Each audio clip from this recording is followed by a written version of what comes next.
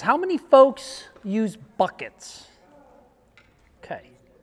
How many folks use tubing? So it's a split operation. All right. Um, okay. So honestly, I don't know how I'm going to talk for 45 or 50 minutes about tubing versus buckets, but we're going to try. Or it could just evolve into a lot of questions and answers of things that you had from this morning. So, first off, um, you got a lot of different options out there, and we've covered quite a few of those already in the morning in the intro session.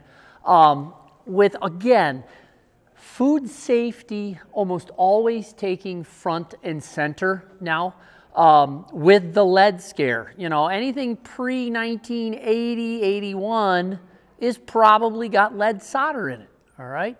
And uh, not everything that you think is food grade is food grade. Not all plastic is food grade.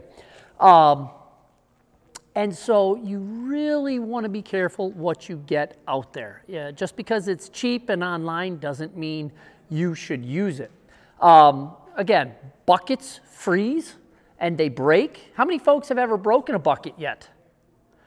All right, that's one, you know, you don't think it's going to get as cold at night as it does and it freezes or freezes solid uh, and, and, breaks the bucket. That's never a, a good sign things freeze and then it takes a while for it to thaw out. Again, loss of production while things are freezing and thawing and, and uh, but this is kind of common what, what I like to see folks start out as. You know, a five gallon pail, that is a food safe pail with some drops. We have learned though that um, we were making our drops fairly long, okay? So we had more flexibility and you just you'd shove it in that hole um, of your bucket, set it on the ground, and then come back the next day after it's gone through a freezing and thawing cycle, and you figure that bucket's going to be three quarters full. Get back there, and it's hardly any sap had run, and you're scratching your head because it was 35 degrees or 40 degrees. Well, what we were learning is as we put those drops in the bucket and they went to the bottom of the bucket, what do you think the tree did at night? Sucked her all back up. So Steve Childs out of Cornell wanted to know what the internal vacuum of a tree was. What is its potential to pull back sap? Why is it emptying a bucket? The tree is just pulling what it gave you because it could. It pulled back about 22 feet worth of sap in a tubing system naturally.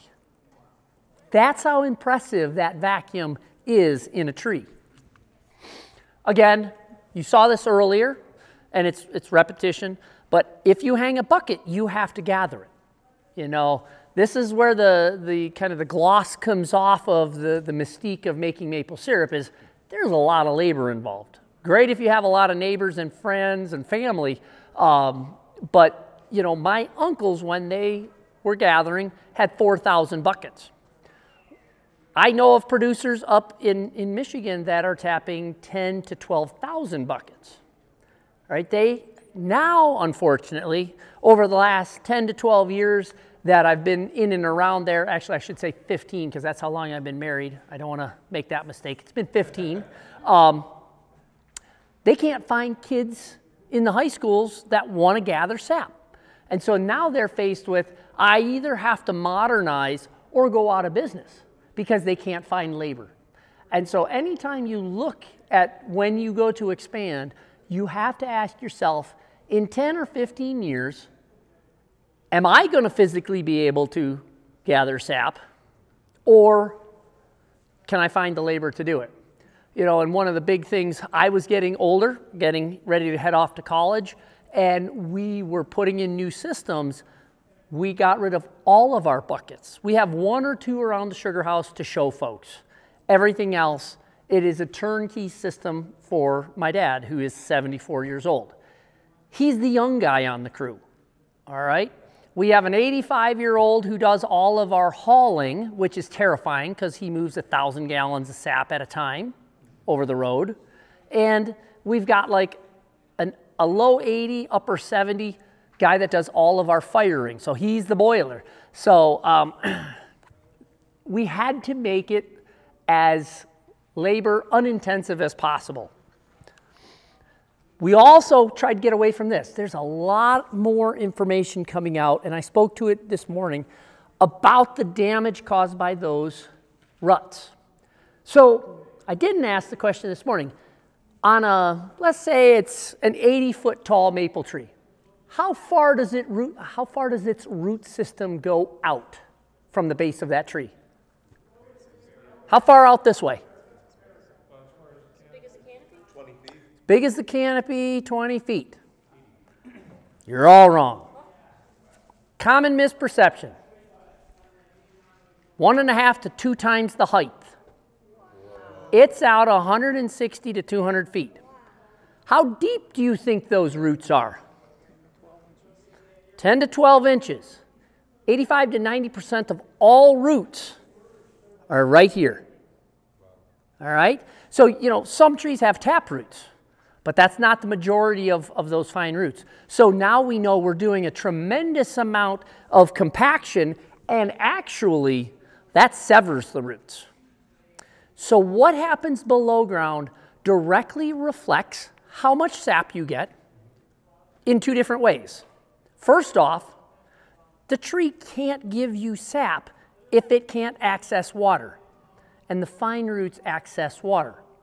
It also can't give you sap and sugar if it kills its top back, because the first thing a tree does is it cuts back above ground as a direct reflection of what's below ground.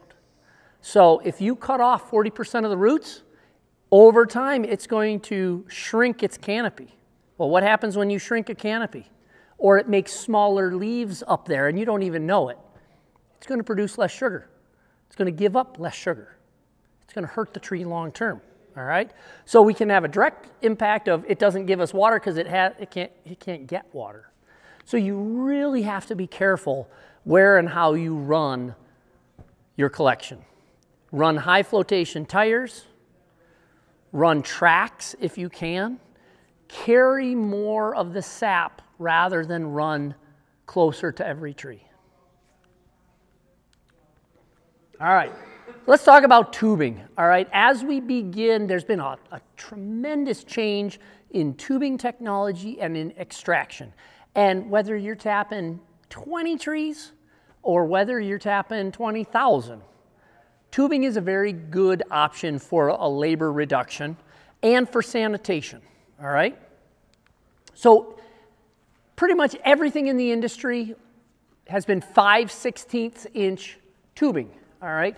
This, uh, this drop line, or this section that I'm gonna pass around, that is semi-rigid plastic. It is now, we've gotten much better at making it shelf or, or light UV stabilized, all right? In the past, their UV stabilization wasn't good.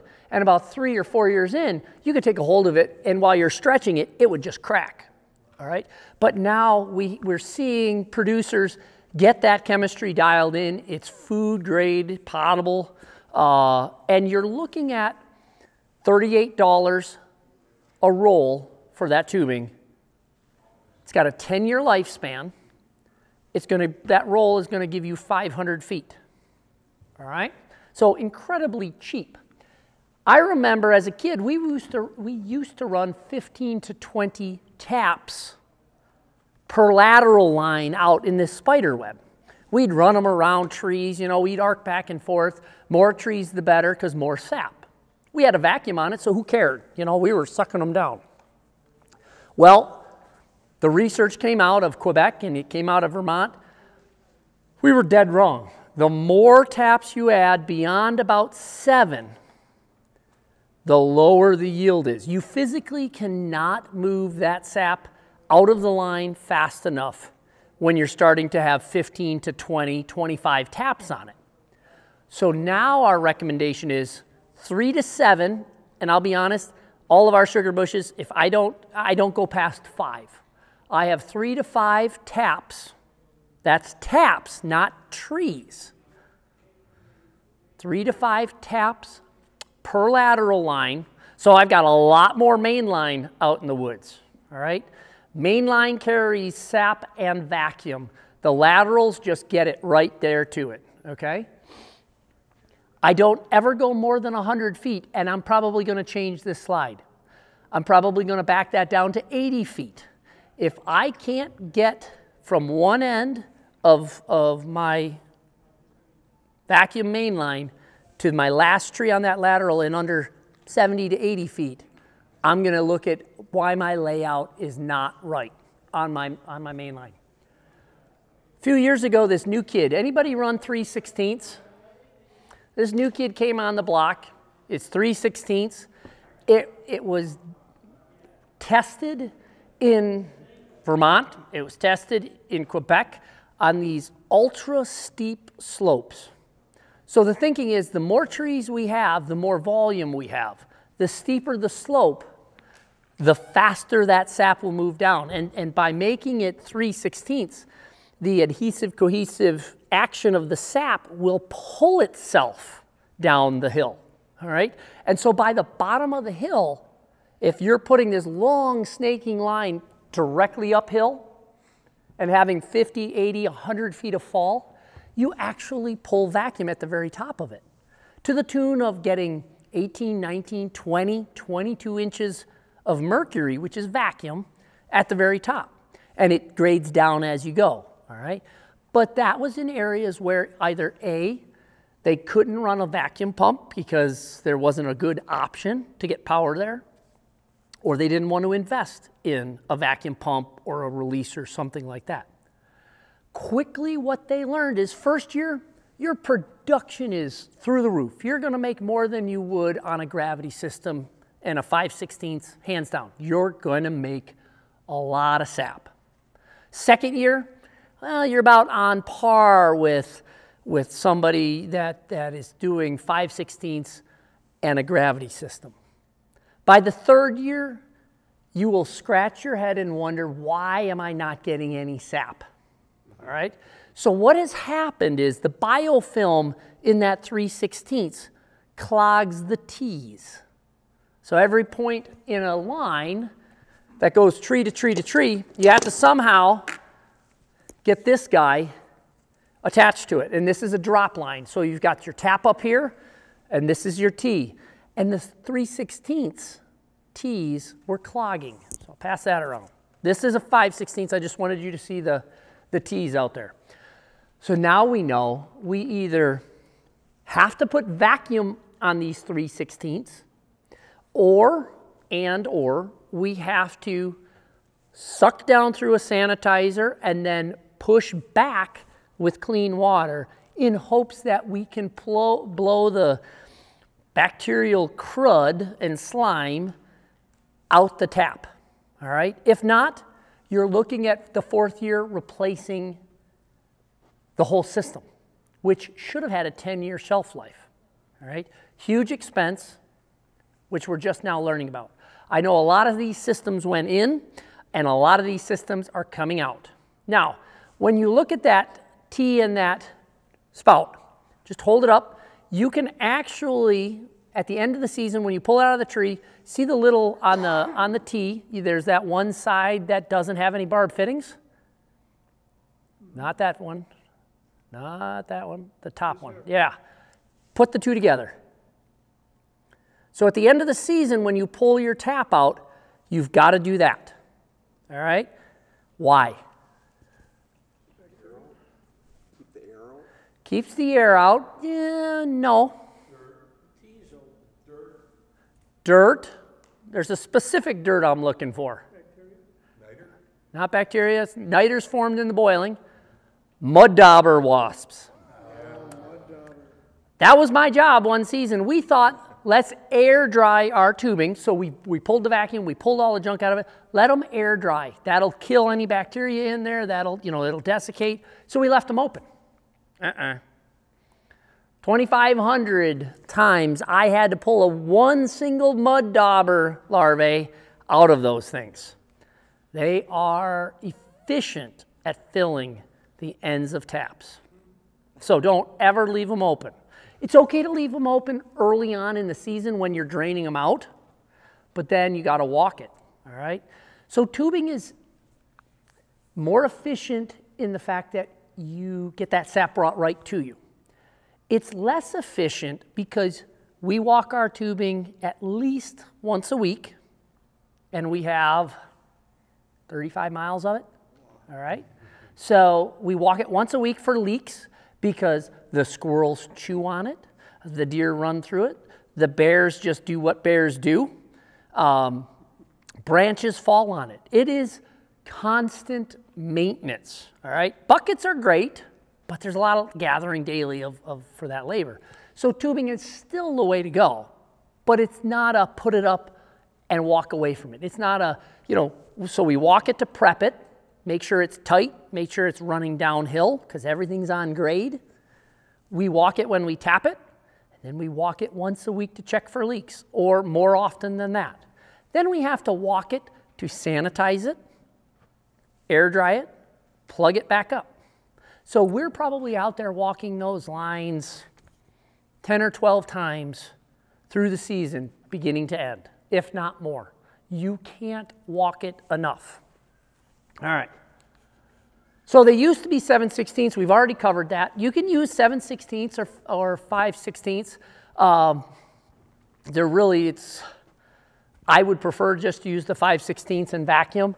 Um, this one, anybody ever use a check spout? So you know how we talked about the tree's ability to backflow and pull back in on itself?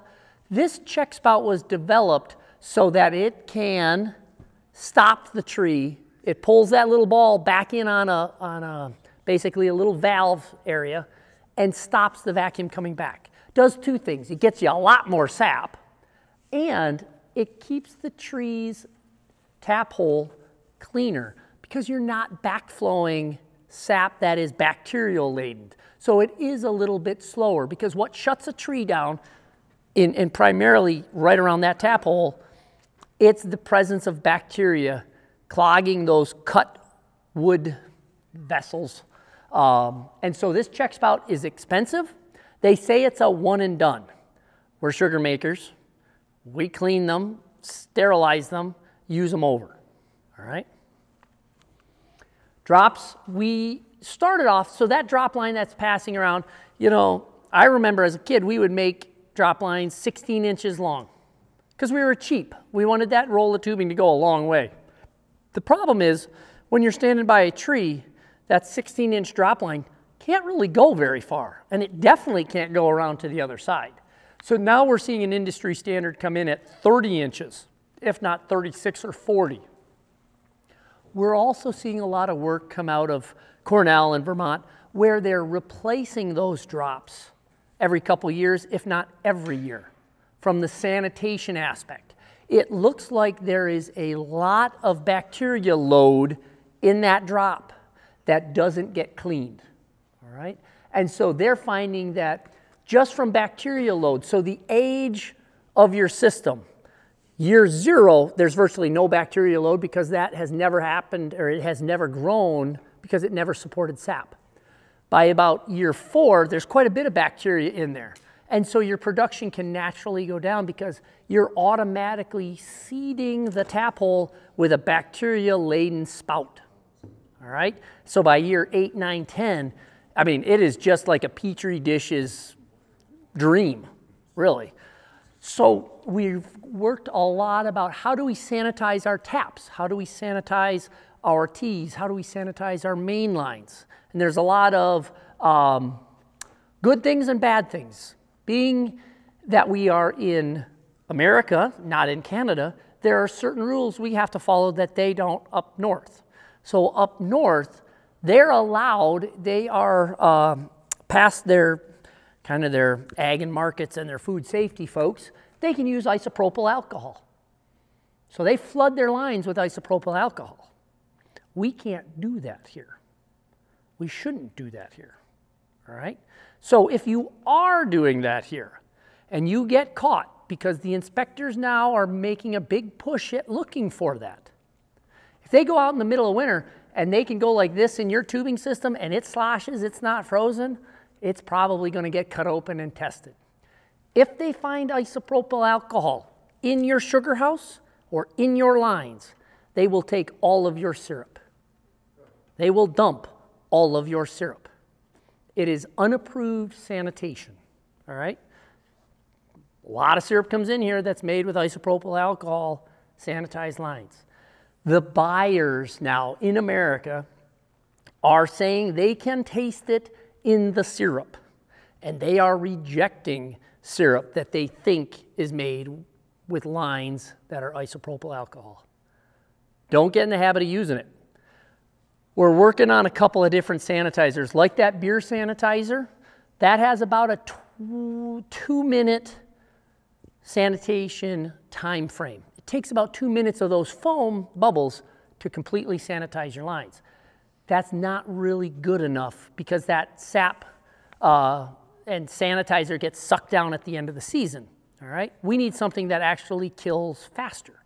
All right? So we're looking at a new product that has about a 20 second residence time, something that we can pump from the bottom up and get the, the residence time in our tubing to sanitize it. All right. So again, we talked earlier about focusing on the south side of the tree. That's gone. That's the old habit. Now we go all the way around the tree. So this is one of our new systems that we're putting in. This is a little demo unit. Uh, it's 300 taps at the station. Next year we add another 3,000 with two different styles of, of tubing. If you want, if you have never installed a tubing system and you're frightened of how do I even start the process, we are going to host over at the station. So it's going to be a little hike for you because it's three hours from here.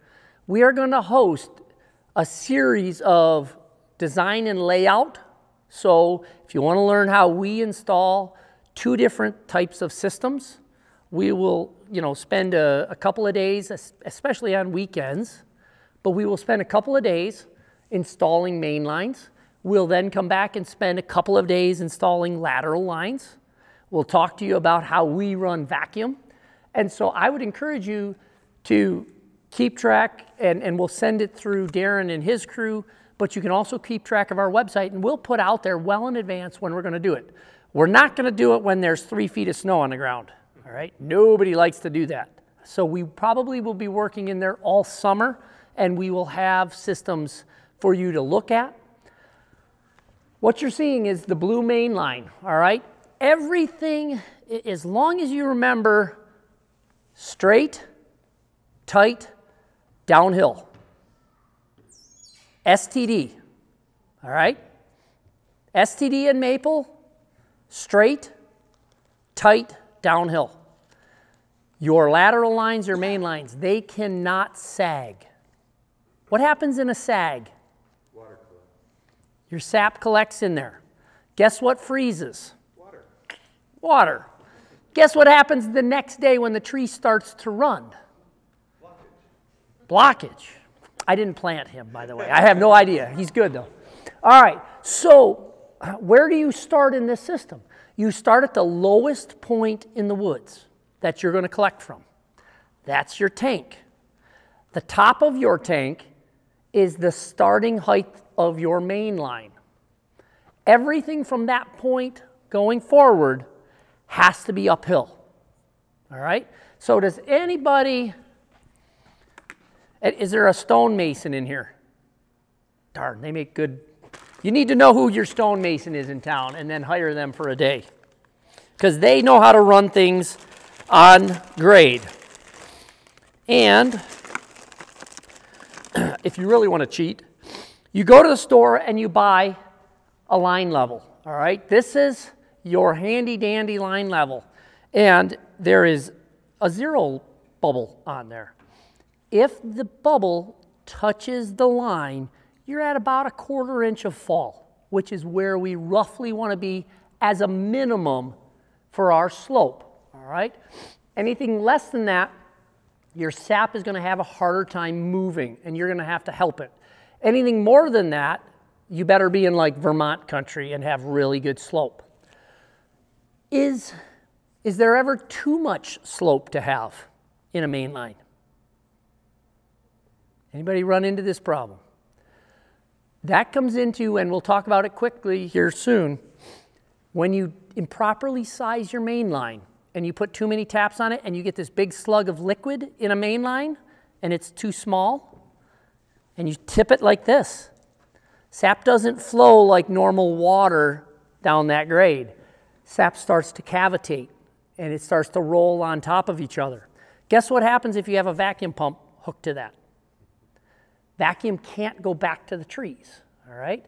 So your main line, you don't really care about vacuuming your main line. You care about how well your vacuum is getting to your tree, and that's the measure of it. So we'll look at some slopes here in a minute, but you can see that the main lines, they fall into each other. So we always enter a, one main line going into the top of the other. Why do we do that? So it doesn't build up where the connection is? So it doesn't build up where the connection is, and there's always going to be liquid on the bottom of that tubing when the sap is running. The vacuum is going to sit at the very top of that chamber. All right, so what we want to do is we want to transfer as much, we want to transfer as much vacuum from this main line going down to the tank into this line as possible. All right, this is what happens when you tap on the south side of the tree. All right, how many tap holes do you count in that tree?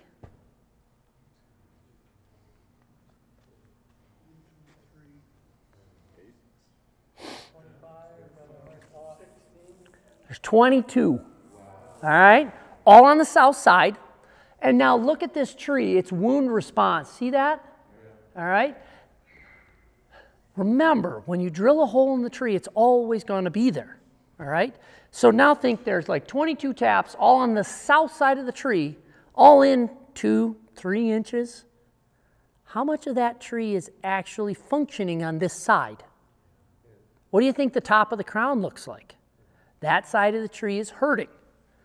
There's also not a lot of wood holding that side of the tree up, okay? So don't do this. So what happened right here? It's a tapping crack. All right, so that's what happened when you drive your spile a little bit too hard and you go tink, tink, tink, tunk, tunk, crack. Okay? It caused a vertical crack now that the tree has had to seal over.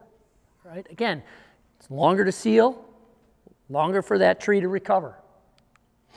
Here's our main lines. Okay, these are the guidelines that we have forth.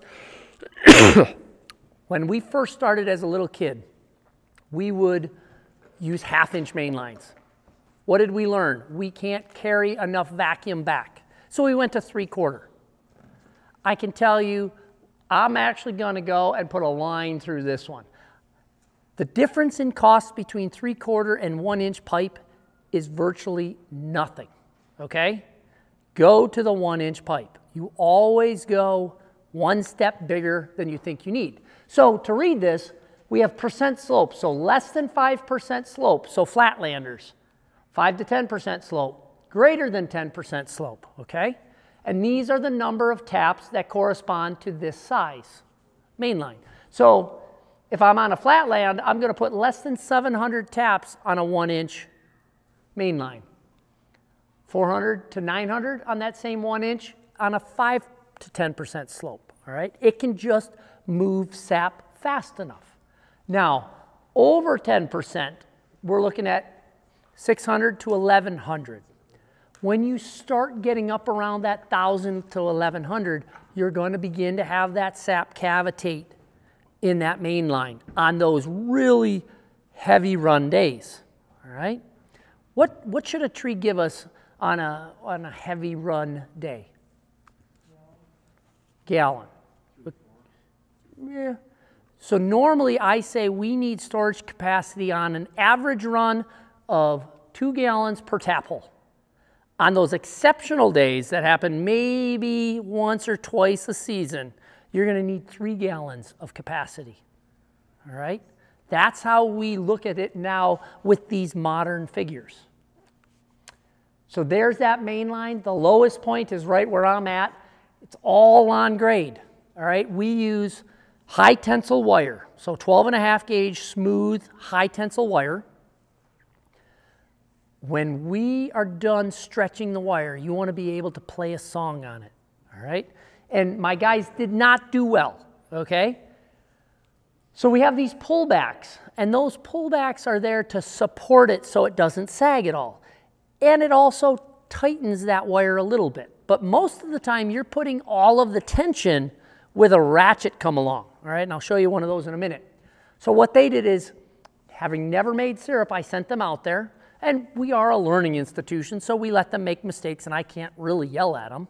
Um, but they went out there, they thought they did what I told them, but they used the tiebacks to pull more of the tension out of it, all right? So what happens, and why I would rather this line go straight, every curve you have slows my sap down, all right? So I don't want to see a big Z zigzag pattern in there. I'd rather see a straight shot supported with T-posts every 10 feet than all of the drawbacks, all right? And so it is what it is. We'll live with it. Um, but again, no sags. I'd rather you drive a post in to keep it up. What was the size of that wire you used? 12 and a half gauge, smooth, high tensile wire. Basically field fence, you know, uh, high tensile wire. So in woods with really good slope, where you know where your tank is going to be set, we use these eye hooks, all right? And we weld them closed because we're putting so much tension on them, we can actually open them up. That's how tight we're making this whole system. Now, the problem with this is in 10 years, that tree is going to have grown out half an inch to an inch. So I buy longer lags, eye bolts, and I don't put them in all that way. And then when I need to, 10 years, 15, 20, I'm normally going to be in replacing my main lines as well. I back them out. All right? So that's that ratchet come along. All right? Has anybody ever used those? Has any of you ever caught your finger in those? Just be careful. They work great, but they also tear you up good. We also routinely, when you're doing forest management, you routinely have to get into your sugar bush. You have to take some trees out, trees fall on your lines. Well, if we did this as one solid unit, you could never take it down and lay it on the ground. So we started putting carabiners in where we could back them off, or, or they, they're not carabiners, they're more like those uh, chain links that you can strap on right here. We take those down once you let the tension off. You can lay your main line down, do the work, bring it back up. So here's another system. This one happened to be in Iowa. We came in and the guy was having trouble uh, with it. And so the one main line was going up the valley, which is what we want him to do. He just zip tied this other one on, big loop, couldn't figure out why. He was freezing too much. And down in those draws, where the sun doesn't get to it and doesn't warm it up, that's a problem. So what we did is we told them to come in and we start putting more ties. And so when you're installing mainline, you're going to get really good at using these two. Any concrete concrete guys here? We got one. All right, these are basically concrete wire ties, and I affectionately term this the nose picker, okay? You get really good at running nose pickers, all right? So every foot I am lashing that main line to the wire with a nose picker. Now, you got to be real careful when you're putting your main line. My main line always runs under the wire. It hangs on that wire, and you'll see why in a minute. But I'm going to pass that around. Don't have nightmares. Jeff, I think uh, the next presentation starts in about five minutes. You're kidding. Did they short me? Is it? Wow. All right. Well, I captive audience for a few more minutes. All right. There's the sags that we deal with. All right. So there's another system, and, and when you get out there and start looking around, this one's called a wet dry system, and this is ours in upstate New York. All right. What we want to do is we run 2,800 feet underground, then we run another 3,000 feet up the main run, up our main valley. And so that's a long way to take vacuum back to the woods. And so this is where our sap line runs. Our sap is in here. This is the wet line. The dry line is where our vacuum runs. And so every lateral main line that we have has equal vacuum. All right? And so it's a way to distribute our vacuum. Just to show you, there are T's, there are Y's. All right? It all depends. We use a lot of the Y's in, in some of the steeper slope operations. We use T's where it's more of a flat ground. Plus, the T's are cheaper. All right, there's these ways to attach lateral lines to main lines. This is a saddle fitting, and I have some up here. That saddle goes right on the top of your main line. Drill a hole down in it. Put the saddle with a neoprene fitting on it, and it delivers sap right to the top of that main line.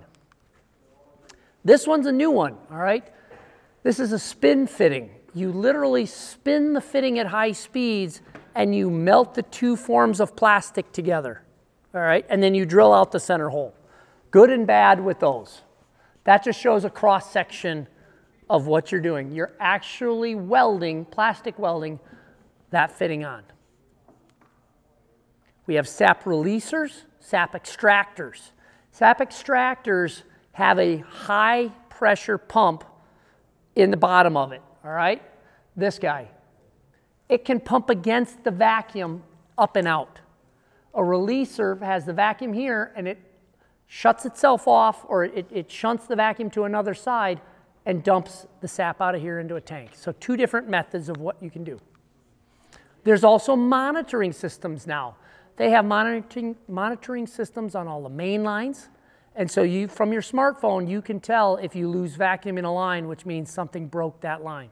It's an incredible efficiency now of where technology is going. We hear some producers that have adopted all of the technology and all the vacuum. They're not getting a third of a gallon per tap hole, they're getting half a gallon. We have some that get 0.6 gallons per tap hole. All right, so the investment in technology has paid off. All right, we're going to quit there, but when I get back to the office, I will continue the talk and then I'll put it online for you guys because we'll go through all of the different vacuums that we have and what we like and what we don't like. So we'll go through all that. Eh, I just wanted to show you, we built that little vacuum pump for about $200 and that'll be good for about 500 taps. All right? So you don't have to buy expensive things when you're handy. And we're all handy, or we know somebody that's handy. All right. And if you wanted a materials list for that, I can add, I can send you that as well because they're really simple to make. All right.